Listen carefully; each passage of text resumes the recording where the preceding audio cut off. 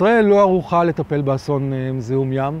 אנחנו נמצאים פה בעצם בבעיה אסטרטגית, ואנחנו חייבים למצוא לה מענה. בעצם כל ספינה גדולה שמובילה כמויות גדולות מאוד של דלק, אם חס וחלילה יש מתרחשת תאונה ודלק נשפך לים, זיהום מתפשט לאורך עשרות קילומטרים.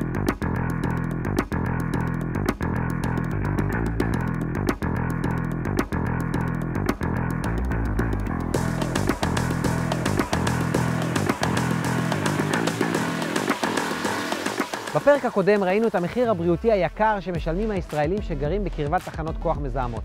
אבל זה לא נגמר שם. הרי את הגז שמגיע לתחנות הללו מפיקות חברות הדלקים בים, והפעם מי שמשלם את המחיר הכבד הם בעלי החיים.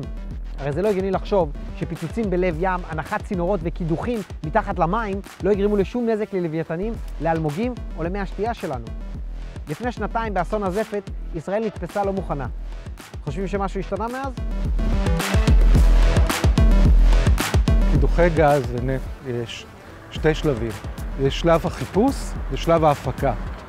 בשלב החיפוש, עוד לפני הקידוח, יש פגיעה בסביבה, בגלל שיטות החיפוש משתמשים בעצם בומים מאוד חזקים, שבעזרתם ממפים את הקרקעית מתחת לים, ומזהים איפה יש שכבה שהיא נושאת גז ונפט. והחיפושים האלו הם בעצם מייצרים פגיעה מאוד קשה בבעלי חיים, אם זה דולפינים, לוויתנים, צבי ים. בזמן החיפושים האלה אנחנו מודים מכל העולם על פגיעות מאוד חמורות, עשרות של צבי ים שנפלטו לחוף עם פגיעות הדף שאנחנו חוששים שהן קשורות לחיפושים של הגז.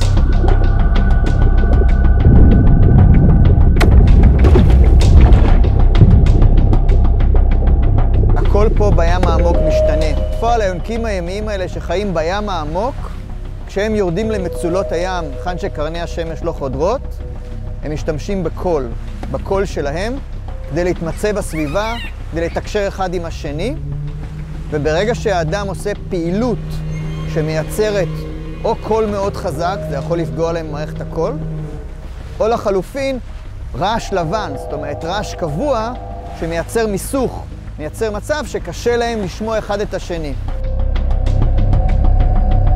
על האסדה הזאת מתרחש הטיפול הראשוני.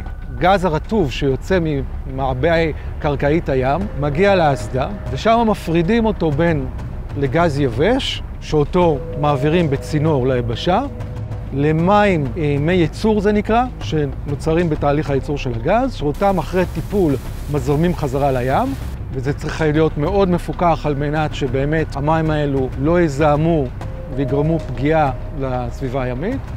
ואיזשהו מרכיב של דלק, שאותו מפרידים הוא נקרא קונדנסט.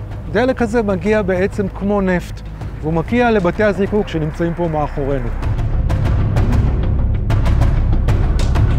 כשקונדנסט דולף, בעצם אין לנו מה לעשות. בניגוד לנפט שאנחנו בדרך כלל מנסים לאסוף אותו, אז קונדנסט כבר מתפזר בתוך המים, ואי אפשר גם לאסוף אותו. לכן, בעצם כשיש דליפת קונדנסט, אין תהליך שבו אנחנו יודעים לטפל בדליפה הזאת.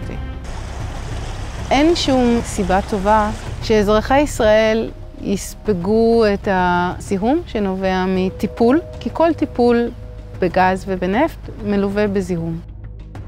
בסוף זה הים של כולנו.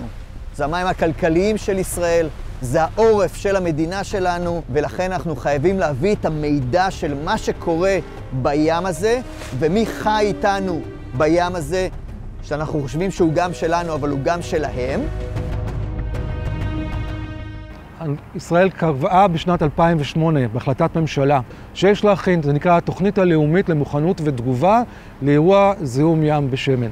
היום אנחנו יודעים שהיא לא מספיק טובה, יש אמצעים חדשים וטובים יותר. היחידה להגנת הסביבה הימית נמצאת בתקצוב נמוך מדי ובכוח אדם נמוך מדי, והתוכנית בעצם לא מיושמת, וצריך להכין תוכנית חדשה שמתאימה לשנת 2025, 2030, בעצם לאופק של, שאנחנו נמצאים היום כבר, שיש לנו שלוש אסדות פעילות, ולצערי יש תוכניות של אה, קידוחי גז נוספים, וכמובן אה, נפט ממשיך להיות משונה, עשרות של מכליות נפט שמגיעות, כל מכלית כזאת נושאת בתוכה מאות אלפי טונות, זו כמות עצומה אם חס וחלילה מכלית כזאת היא נבקעת, או נקרא אסון של שפך של עשרות אלפי טונות של נפט, אנחנו מדברים על קטסטרופה.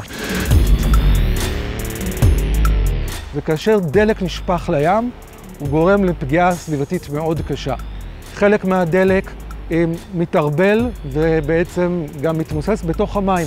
ובתוך הדלק יש חומרים מאוד רעילים, שהם פוגעים בשוניות האלמוגים ופוגעים בבעלי חיים נוספים שמגיעים לחוף. הם פוגעים כמובן בכל מה שחי. הפגיעה בטבע היא תהיה פגיעה שייקח עשרות שנים עד שתשתקם. כולנו במדינה אוהבים את הים הזה, אוהבים את, ה, את העובדה שיש פה לוויתנים ויש פה דולפינים. ואת הדבר הזה אנחנו צריכים לחקור, להבין מה נמצא אצלנו, להביא את המידע הזה לציבור, וזה מה שאנחנו עושים פה. אין שום סיבה לסכן את כולנו עבור משהו שאנחנו לא באמת זקוקים לו, והוא לא חלק מהתוכנית שלנו למעבר לאנרגיות מתחדשות. ישראל לא ערוכה מספיק לזהות ולטפל בזיהומי דלק ונפט בים. בפרק הבא, במכורים. האם כל זה באמת נכון? ואז אין חוסן אנרגטי בכלל. זה פשוט פגיעה כלכלית אה, מטורפת.